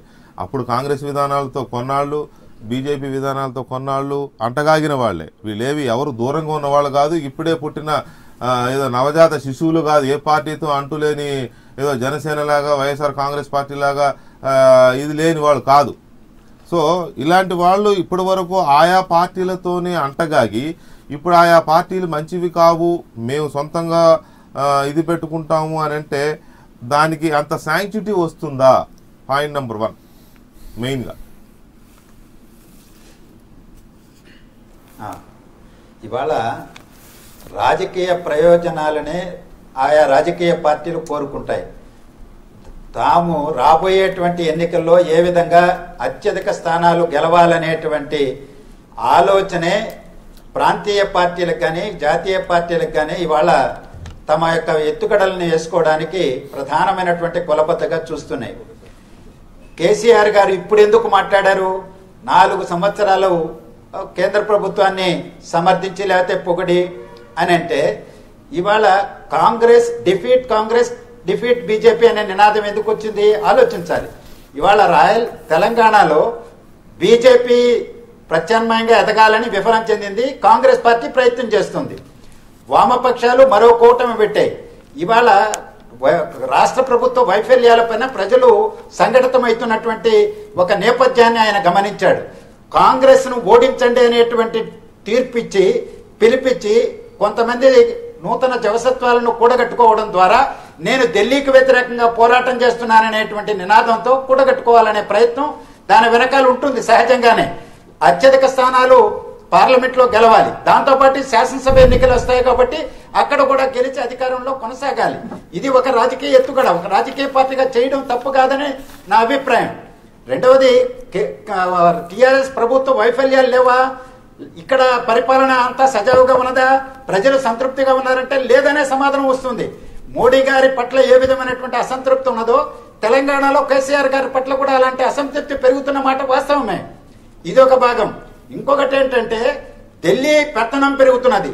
ఢిల్లీలో మంత్రివర్గం యొక్క ఉనికి కూడా ప్రశ్నార్థకమే. అంతా పిఎంఓ చుట్టే ప్రధానమంత్రి చుట్టే అనేటువంటిది ఒక పెత్తందారి పోకడలతో ప్రభుత్వం కొనసాగుతున్నది అనేది కూడా పదే పదే మనం వింటున్నాం. రాష్ట్ర ముఖ్యమంత్రి చంద్రబాబు నాయుడు గారు ఒక విభజన చట్టంలో ఉండేటువంటి అంశాల అమలు కోసం ఇరవై సార్లు ముప్పై సార్లు తిరగడంతో పాటు ప్రధానమంత్రి యొక్క ఇంటర్వ్యూ కోరితే ఏడాదిన్నర ఇవ్వలేదని మనం చే- చూసుకున్నాం. పార్లమెంటు సమావేశాలు ముందే ఆయన కలిశారు. అయినా దానివల్ల ప్రయోజనాలు లేదు అనేటువంటిది కూడా మనం గమనిస్తున్నాం. మరోవైపున కేసీఆర్ గారు ఢిల్లీకి వెళ్ళి నేను విన్నది ప్రధానమంత్రి గారి ఇంటర్వ్యూ కోరితే ఆయనకు ఇంటర్వ్యూ ఇవ్వాల? ఇతర మంత్రులను కేంద్ర మంత్రులు కలిసి వెనక్కి రావాల్సి వచ్చింది. వారం క్రితమే ఇది జరిగింది అనేటువంటి చాలా స్పష్టం. అంటే ఢిల్లీలో కూర్చున్నటువంటి పెద్ద మనిషి భారతదేశానికి ప్రధానమంత్రిగా ఉన్నటువంటి ఆయన ముఖ్యమంత్రులకే ఇంటర్వ్యూలు ఇవ్వనటువంటి పరిస్థితులు ఉంటే దాని అహంభావం అనాలా పెత్తందారి పోకడలనా నియంతృత్వ పోకడలనాలా కేంద్రం రాష్ట్రాల మీద పెత్తనాన్ని చెలాయించేటువంటిది అంత అనాలా ఏమని భావించాలి నరసింహయ్య గారు? ఒకటి ఒకటి ఈ మధ్య హెల్త్. బాగాలేదని హెల్త్ బాగాలేదని ఢిల్లీ వెళ్ళిన కేసీఆర్ గారు దాదాపు నాకు తెలిసి ఐదారు రోజుల వరకు ఢిల్లీలోనే ఉన్నారు ఆ సందర్భంగా ఇప్పుడు లక్ష్మణ్ గారు చెప్పింది బహుశా అదే కోట్ చేస్తున్నట్టున్నారు. అపాయింట్మెంట్ ఇవ్వలేదు. కేంద్ర మంత్రులు చాలా మంది కలిశారు కానీ ప్రధానమంత్రిని కలవడం కుదరలేదా? ఒకవేళ ఇటు చంద్రబాబు నాయుడు గారికి ఎలాగో అపాయింట్మెంట్లు ఇవ్వలేదనే అసంతృప్తి ఇక్కడ చాలా ఎక్కువ ఉంది ఆంధ్రప్రదేశ్లో. అలాగే తెలంగాణలో కూడా ముఖ్యమంత్రిని నిర్లక్ష్యం చేయడం కానీ ఇలాంటివి ఏమైనా ఉన్నాయా? ఆ అసంతృప్తిలోంచి దాన్ని ఏమంటారు? అపాయింట్మెంట్ కూడా ఇవ్వరా ఒక ముఖ్యమంత్రి వెళితే అనే ఒక భావిత భావనలోంచి ఇవన్నీ వచ్చాయా?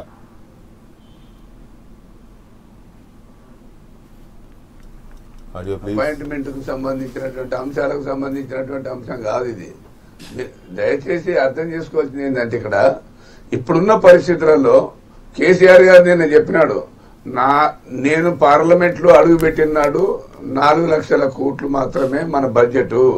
ఈ రోజు అది ఇరవై నాలుగు లక్షల కోట్లు పైచిలుకుంది. ఈ రోజు రైతాంగం అల్లాడుతున్న పరిస్థితి ఉంది. రోజు వీరు చెప్పింది ఏంది? నదుల అనుసంధానం అనే రాగంతో ఏకినారు. నాలుగు రోజులు మాట్లాడతారు నాలుగు రోజులు బంధు పెడతారు. వారు ఏం చెప్తున్నారు ఇంకోటి? ఇప్పుడు ఏ రోడ్డు కాడు పాదం ఆ రోడ్డు కాడు అని చెప్పేసి రాష్ట్రాల కోసం మాట్లాడుతున్నారు. ఎందుకని ఈ నదులకు సంబంధించి అనుసంధానం పక్కకు పెడితే డెబ్బై ఐదు వేల టీఎంసీల నీళ్ళు ఈ దేశంలో ఉంటే ఇరవై నాలుగు ఇరవై ఐదు వేల టీఎంసీలే వాడుకుంటున్నారు. ఇది ప్రజలు ఆలోచించాల్సింది కదా? మనలాంటి ఆలోచన పరులు ఆలోచించాల్సింది కదా? దానికి ఏదో అంటగట్టించేసి ఆయన అపాయింట్మెంట్ ఇవ్వలేదు. ఆయన మీద దగ్గర కాదు. ఇంకోటి రాష్ట్రాల స్ఫూర్తి దెబ్బతింటుందని ఎందుకంటున్నామంటే మిషన్ భగీరథ గాని మిషన్ కాకతీయ గాని చాలా బాగున్నాయని పోయినారు. నీతి అను ఆయోగ వారు వచ్చి కూడా చాలా గొప్పగా సహకరించాలని చెప్పినారు. ఎందుకని ఇవ్వడం లేదు? ఏది రాష్ట్రాలకు సంబంధించినటువంటి హక్కులు హరించడం అనేది దుర్మార్గమైన చర్య. అది ఎవరు చేసినా తప్పే. అందుకోసమని ఈరోజు మోడీ గారు మొన్నటిదాకా అవును మే- మే- మేము మేము చెప్పింది ఒకటే రాష్ట్రపతి ఎన్నిక విషయంలో ఒక దళితునికి సపోర్ట్ చేయమంటే ముందు వచ్చేసి చేసినాడు కేసీఆర్ గారు. దాని తప్పేమవుతుంది దాని తర్వాత పెద్ద పెద్ద నోట్ల రద్దు విషయంలో వాళ్ళు అన్నది ఏంది? చాలా గొప్పగా జరిగిపోద్ది అని చెప్తే మేమేం వ్యతిరేకించము. దీన్ని మీరు సరైన పద్ధతిలో చేయమని చెప్పినారు. నల్ల డబ్బులు తీసుకొచ్చేసి పంచుతామంటే పంచమన్నాము. అవన్నీ పక్కకు పెట్టేసి ఈ రోజు వస్తున్నటువంటి మోడీ ప్రభుత్వం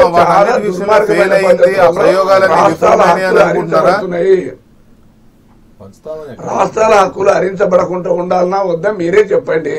మా లక్ష్మీనారాయణ గారు చెప్తున్నారు అసంతృప్తి పెరుగుతున్నది. అసంతృప్తి అంటే విద్యుత్తు తెలంగాణ రాష్ట్రంలో వచ్చుతున్నందుక గారు ఒప్పుకోకుండా ఉంటున్నందుక అసంతృప్తి పెరుగుతుంది ముందు ఒక్క ముందు. ధర్నాలు పెట్టాం కదా.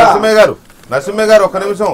అసంతృప్తి అసంతృప్తి పెరుగుతుంది అని అంటే తెలంగాణలో అసంతృప్తి పెరుగుతుందంటే టీఆర్ఎస్ సమాధానం ఇలాగే ఉంటుంది ఏపీలో అసంతృప్తి పెరుగుతుందంటే టీడీపీ సమాధానం ఇలాగే ఉంటుంది ఇండియాలో అసంతృప్తి పెరుగుతుందంటే బీజేపీ సమాధానం ఇలాగే ఉంటుంది.